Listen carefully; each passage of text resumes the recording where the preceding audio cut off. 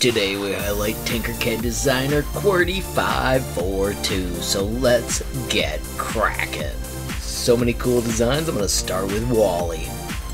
Oh my gosh, he loads in 3D, that is so adorable, giving it an awesome.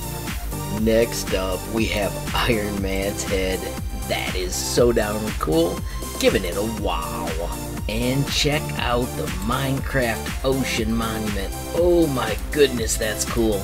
Giving it a wow as well. Oh my gosh, the Infinity Gauntlet loads in 3D. That is so cool. Giving it a staff pick ready.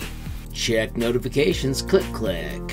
Right click, open a new tab to see what other amazing users are creating. Of course, have a glorious day and keep tinkering.